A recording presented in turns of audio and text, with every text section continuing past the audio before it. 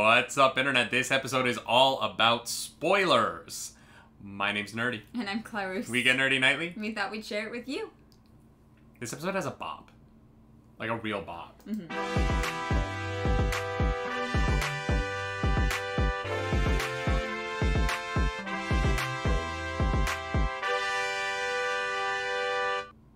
That is right. Welcome back to the episode 7 spoiler chat for Spoiler. WandaVision.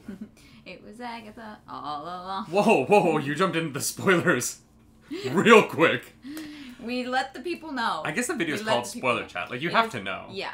Yeah. It was Agatha all along. Dope song. But we're not going to start at the end. We're going to start at the beginning. Let's just Mhm. jump into it. Uh, this episode opens with us driving up to the military caravan Mhm. for the U.S. Army that is also sword. Because they have a S.W.O.R.D. vehicle, right? But they are the U.S. Army. Yeah? So here's here's what happens. The end of last episode, we're driving off with um, Woo sunset. and Rambeau, thinking we're gonna go meet whoever this aerospace engineer is. Uh-huh. And then we pull up on this caravan of U.S. Army people who have S.W.O.R.D. technology, even though Hayward is the director of sword. This is very confusing. But then Yeah. they're like, "No, we are loyal to, to other you." people," which I think means Nick Fury. Oh. She doesn't say we're loyal to you, or she's like, "We have other allegiances," which I think means Nick Fury is on the side of this, right? Because the last time we saw Nick Fury was in the post-credit sequence for Captain Marvel, where he was in space on a S.W.O.R.D. installation. Mm, that's true. That's true. So, I thought it was like I thought she was like so also spoilers for Captain Marvel. But if you're here, I thought she spoilers. was loyal. I thought they were loyal to her mom. And then she was like, yeah, "Thank you for your loyalty to my mother." And she said she's not the only one we're loyal to. I thought they meant her. I, I thought so But- too. But then I was like, who would have the power to supersede Hayward though? Mm. Like, I feel like Rambeau might have called up Fury, maybe, or whoever this aerospace engineer is, who is like we. So we meet Major Goodner, Yeah. who feels, who I was like, okay, and then the car, or the the, the truck thing pulls out, the space truck. The I was like, Armored vehicle. yeah, our our, our most armored space vehicle. Yeah. I was like, why do you have an armored space vehicle? Um, like what planet is that for? Yeah, I Um, couldn't tell you. it so that pulls out and i was like oh reed richards is gonna pop out of that oh someone's gonna because i was like major goodner can't be the big reveal because No. that doesn't mean that we've been told like you can't build up that it's gonna be this person that's going to shock us all and then it's like some random person not from the comics that's Yeah. not a spo- that's not like a cameo No, no. even though major goodner like i'm not nothing against the actress nothing against anything it's just that's that's no, we've been led to believe that there is a big cameo Mhm. coming up. The actress who plays Monica So- Rambeau has said publicly that she can't wait for us to meet the aerospace engineer. That's been Yeah. in interviews all week. Is like, I can't wait for you to meet the person. That person is not in the episode. No, not in the episode. So they either didn't make the cut, or we find out No, they week. definitely made the cut. We're. I I don't think we're gonna find out next week. I think we're. No. It's gonna be at the end of episode nine, Ugh, the rise yeah. of Skywalker.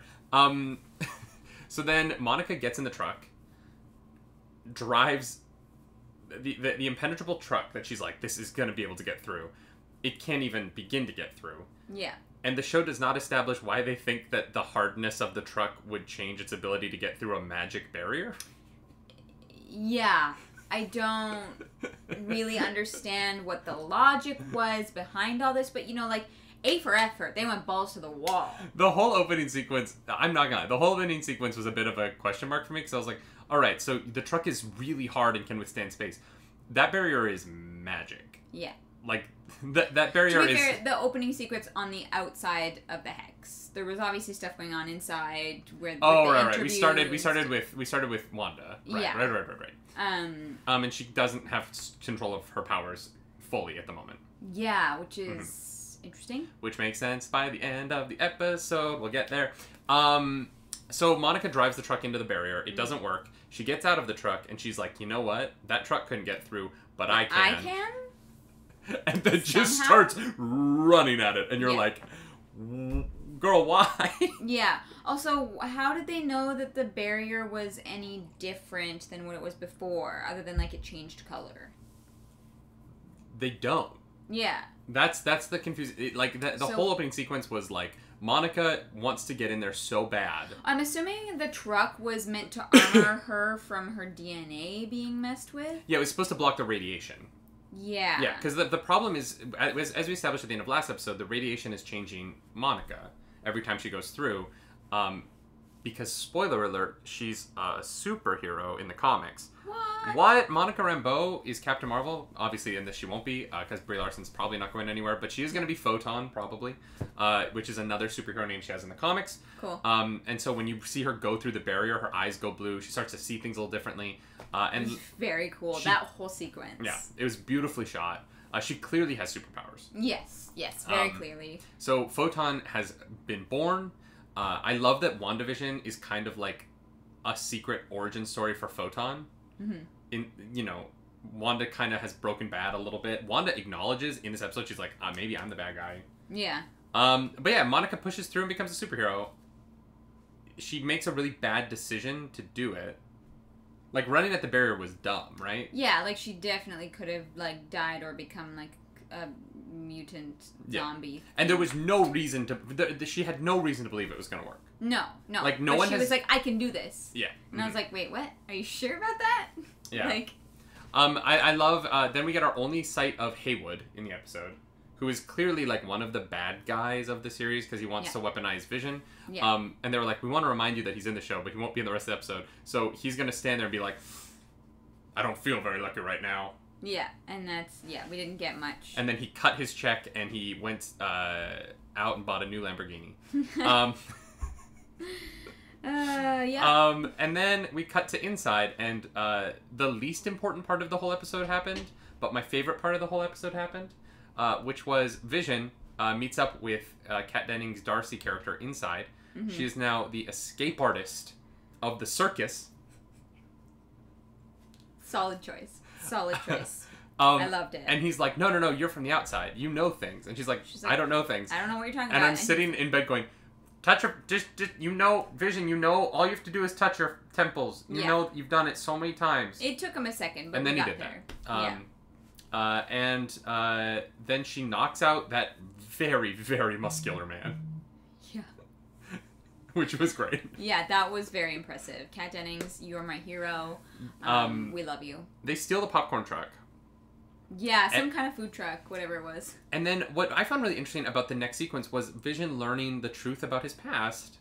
And um, I feel like Vision, up until this point in the series, has been very critical of Wanda because he doesn't have all the information. Yeah. And upon hearing the truth from um, Kat Dennings, which was Hmm. still delivered to him in a comedic way for us, the audience, Yeah. but in a very emotional way for him, Yeah. um, I was really touched by um, the the empathy that he found for her upon learning the truth. Yeah. Well, and and that's like if it's not if it's not something you've experienced and nobody has ever experienced that Mhm. because we're not superheroes. Um but you know if that's not something that you've gone through it's very difficult to relate to. And i think like the one amazing thing about vision is his humanity in ways. Mm-hmm. Yeah.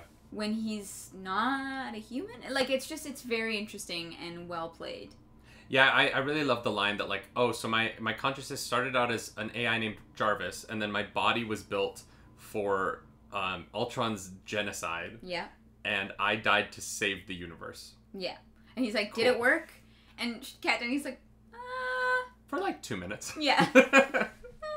Kat Dennings, Kat Dennings has seen Infinity War and Endgame, right? Like Kat Darcy, Darcy in universe has watched the movies of the Avengers because she knows literally everything that happened in those two films. Yeah. she's like, yeah, no, so uh, yeah, so I don't, I like, I don't, did Scar, did, is it public knowledge that Scarlet Witch killed Vision and then Thanos rewound time? Like, why does she know that? She's a smart lady. Kat, like Darcy has all. Maybe maybe the reveal is that Darcy is the Watcher, and we're gonna find out that like Darcy. But like in every episode, Darcy is has She too much knowledge. Always has the right information for the moments. And it's information that like we the audience know, but like sometimes because doesn't we've seen always the make movies. Yeah, yeah. But doesn't always make sense for the characters in the series to know. It's but here's the thing. It's not like there was like a tiny little CCTV camera in the woods outside of Wakanda where all this went down, right? And there's like four Maybe people. there was. But there's four people on Earth Yeah. who know what happened in those woods. It's Thanos, uh, Captain America, um, who else is there? Scarlet Witch, and that that's kind of it, right? Like who else was there when that happened? I guess Vision was there. Vision is dead. No, I mean like No, in the inter he- in the in the interim period, Oh. who could have revealed what happened in those moments to the world? Like who? maybe Wakanda the only options- crazy security cameras. The only options are Captain America or Scarlet Witch revealed to everyone that and it wouldn't have she been killed Vision and then Thanos rewound time. Like, why would they tell people that publicly? Why would that be knowledge that people have? Mhm. Why would you tell anyone the events of that? Right? Yeah. Um, but Darcy like, very knows clearly everything. knows that. Yeah, she is like the all know like omnipotent But also Woo knows that because in like I, it was either last episode or two weeks ago, Woo was like, "Wait," but he, one of them they were talking about it and they were like, "Well, no, Vision's dead, dead, not Snap dead, right?" Mm, yeah. So it's just it, like the, I, I do have questions, Kevin. Yeah. Uh, Kevin, uh, I'm of course referring to Kevin Feige, uh, one of my closest friends. Um, uh, Kevin, uh, he doesn't answer my texts anymore, but um, Kevin, I have so many questions. Why why is this stuff public knowledge? Unless the, like were there like court depositions at like did the Avengers have to like answer to like a global tribunal maybe and like then things got out that way?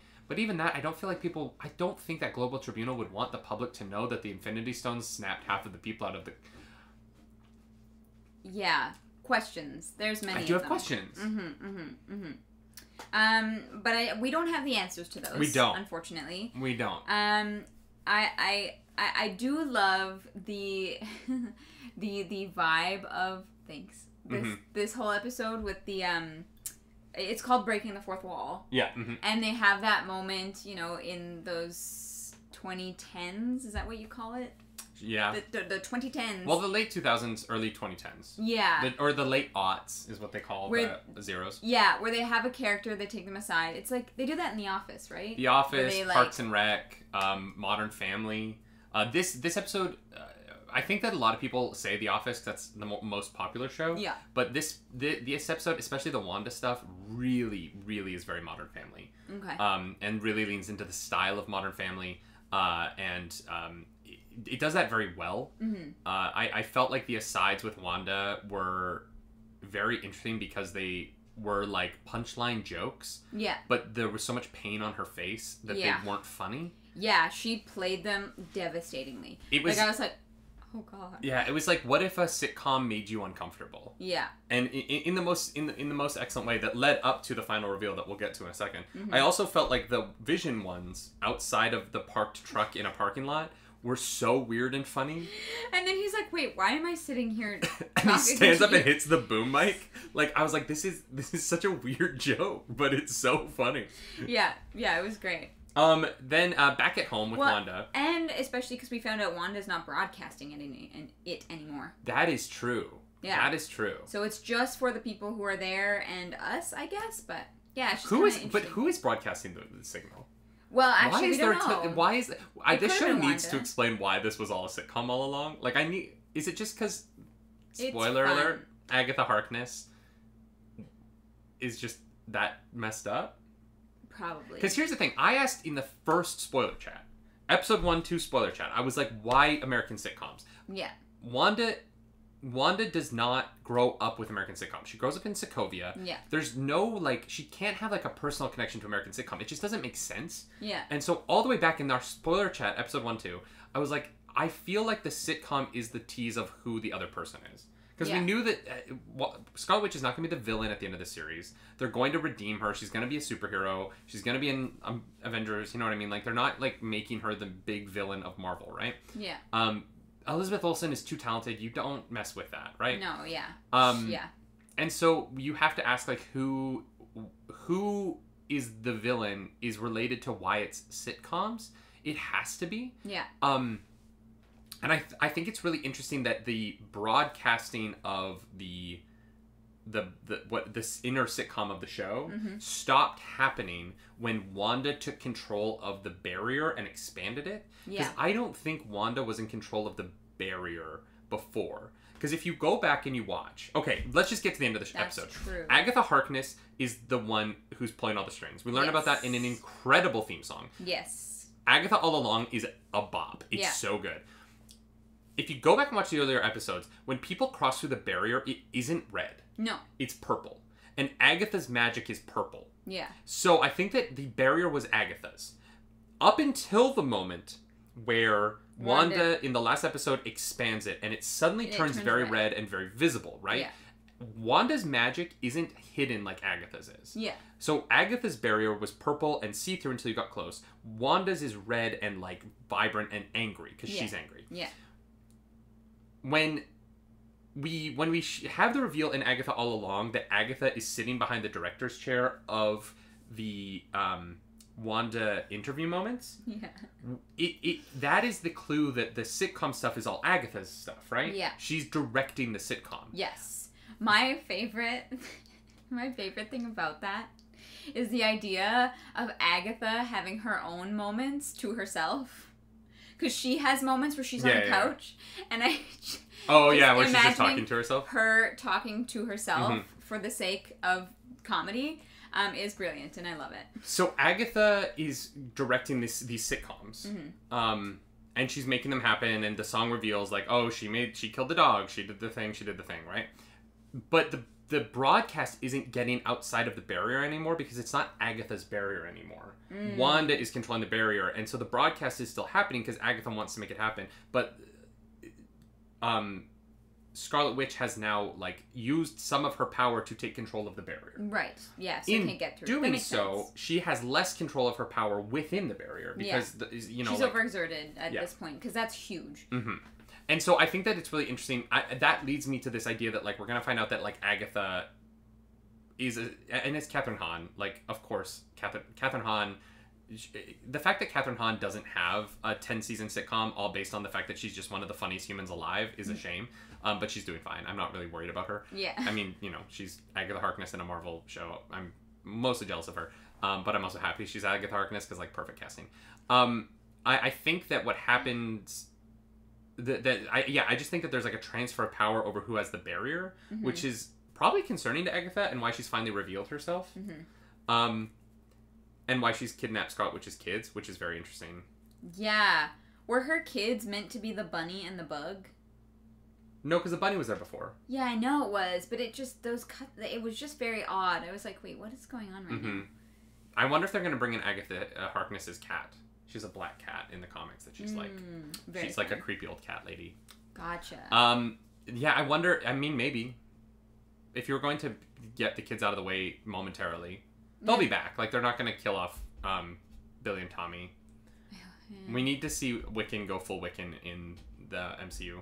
Mm. Um, but uh, very interesting. Very, very. It's a, like it's a it, it's a perfect introduction for Agatha. That song is great. Yeah. Mm-hmm. Yeah, they nailed it. Mm. It was. The like old timey like um Sabrina, like Addams Family intro for her was Yeah. really cool. Like old sitcom Sabrina, not Chilling Adventures, like old like the original. Yeah. Mm-hmm. Um, and like very Addams Family. Yeah. Um, no naughty Agatha, very funny. Yeah. Yeah. Yeah, they crushed it. I Yeah. cannot wait for next week. Here's the thing: this episode didn't settle anything. No. It just this was another we episode that was like more questions. we have more questions. It it set up more. Cause this was another like moving people into location episode. We got Vision to the point where he's like headed back home with empathy for Wanda. Yeah. Um, Photon is in the thing, has her superpowers. No, uh, there's a mid-credit sequence where she like finds the house, and then Evan Peters says hi. And who is that? Is it Pietro? Does he still have superpowers? We don't know. Yeah, I don't know. I think it's meant to seem like he is created by Agatha because he's got that purpley smoke behind him. Like, Here's the thing: he's definitely controlled by Agatha. but is he create? Yeah, is because nothing is he in created there is controlled? created, right? None of Mhm. the people in Westview are cr- created. They're Yeah. all real people. It's all rewritten. So is he the first creation? Ugh, the show, the it's like it's just like mining, right? And like you always think you're about to hit gold, and then you hit like fool's gold, and you're like, that means there must be gold underneath, right? And you just keep going because there's just it's like you're just digging through these layers. The show is so brilliant Yeah. and I just I can't wait for next week. The, the one thing I will say about this episode is I wish it had more of a resolution to it. This one felt Mm. very cliffhangery. Yes. Yeah, I Mm-hmm. would agree with that. I need more. When when I'm watching the show in the future and I'm binging through it, this episode will still feel very fun, Mhm. but it is like leading to the next thing Mm-hmm. in a way that um, the first few, the first like four five episodes of this series didn't have that feeling. Mm-hmm. Um, the last two have been a little bit like, okay, we're still getting people into place. When does when does stuff go down? Yeah. Um, yeah, I, but he, I think next week we're gonna get it. I mean, We it- have to. There's two it- episodes left. Yeah, and especially with how they left off the episode, I think the next two are gonna be very exciting. Yeah, we everyone's still going back to that. Kevin Feige said that there's six hours of WandaVision, and that and we're only at three and a half hours of WandaVision so far. So is there another two and a half hours in two episodes? Like, is the final episode of the show going to f- be like a movie movie. length, like a 90 minute episode of television? It might be. Yeah. I would be down for it. I just yeah, I'd like to know so I can plan my day. yeah. It's it's fascinating. Yeah. What was your what was your like favorite moment in the episode? It's gotta be Agatha's theme song. Yeah. I like I I yeah. That's the the standout for um, sure. Second to that is the moment is Vision's like empathy moment. It's not that funny. It's it's it's a quiet moment, but like Paul Bettany's face and his acting in that scene where he's just like, oh yeah, this is like where he just realizes Mm-hmm. that, and then flies off. Like that was re- that was great. Yeah. That was really great. Yeah. Yeah, this show's brilliant. Yeah. I totally get why Elizabeth Olsen is getting like people are talking about her for the Emmys. Oh, God. I would nominate her. Oh my god, she's so good in this. Like, like, mm-hmm, mm-hmm. She she deserves she deserves all of it. Truly, it, her Mhm. performance is uh, incredible. Yeah. I wonder I do wonder how Billy and Tommy are going to factor into the end of this show Yeah, because where did they come from? Yeah. I saw a headline. I didn't read the article because I've been staying away from like reading articles about this. But I we do I pull news for the morning show, so I like see all the headlines. Uh, and there was one talking about uh, Monica Rambeau, and it quoted her as like saying like it's an incredible and very sad ending. And so I do Oh wonder no. because like I think we all are assuming Vision doesn't make it through the show. Like I, I uh, Yeah. Wanda, in order to save the Earth, is gonna have to. It's basically the plot of Wonder Woman two, um, or. Wonder Woman one, uh, where Wanda's gonna have to give up Vision in order to like save the day. She's Mhm. gonna have to bring down the Hex, which will kill Vision, like probably to bring down Mephisto and Agatha and yada Mhm. yada yada. Mhm. Um, but um, and that's emotional, but it really raises the question of what happens to Billy and Tommy Yeah, because ha- where where did they come from? yeah. And has it really only been like five days with them? Yeah. Oh yeah. Because the hex has been up for what, like ten days or something? I have no idea. yeah. I really don't know. Time is a little weird, so I, it's Because it's been like six decades of television. yeah, God, this show's so good. It's so good. Like it just is Mm-hmm. so solid. yeah, yeah. It is. Uh, I I I don't want it to be over, but I need to know what happens. So please just give it to But us. But here's the thing: when it's over, we get Falcon and the Winter Soldier. I know. So it's not even like we're gonna be like, God, what are we gonna watch next? We're gonna I be like, and next week on. I know. I know. this is this is starting. Um, this this whole television enterprise for Marvel is starting to feel like the comics, where you're like, oh my God, that was a great Spider-Man comic. What am I gonna read next Wednesday? Yeah. Because in comics, Wednesday's new comic book day, and like every Wednesday, and so Friday is starting to feel like Disney Plus day, and that's what we call it on the morning show. Yeah. And it's this like weekly thing with Marvel is starting to feel like new comic book day on Fridays, Mhm, and I'm like, what new superhero adventure do I get to go on every Friday? Yeah. Um, and it's weird that the CW shows never managed to achieve that for me. Uh, and I don't know why I never had that feeling from it. This is more exciting, Yeah. and I think it's partially It's better. yeah, it's. I think it's partially because it's more creatively um, driven hmm than um, the you know the CW shows. As much as I love them and I watch them, they have a sameness to each episode because you know I, I love Grant Gustin as the Flash, but there is an element of that character where like he has to grow slower than he should because um, there's a thing people talk about um, in comic books called the perpetual second act where the introduction of the superhero is the most exciting part of the superhero right the first act of the story Mhm. finding out their powers whatever once they have their powers, there's no end. There's no like finish line. There's no end goal, right? So you can't really ever have a real climax. Mhm. And so superhero stories are caught in this perpetual second act of constantly fighting new villains and constantly growing a little bit, but never achieving the end of their arcs. Because if their arcs end, they have to stop writing the comic books, and then what do you do? Yeah. Um, and so I feel like sometimes the CW shows have been caught in the same issue of like they're in the perpetual second act of their TV shows, Mhm. and Marvel, the movies felt that way until Endgame, Yeah. and then Endgame was like, oh, that was a conclusion. That was that was the end of something. And WandaVision feels like, oh, like this gets to have a conclusion. And I know Wanda will be in the next thing, and like there will always be new things for Marvel. yeah. But this is starting to feel like these stories are allowed to.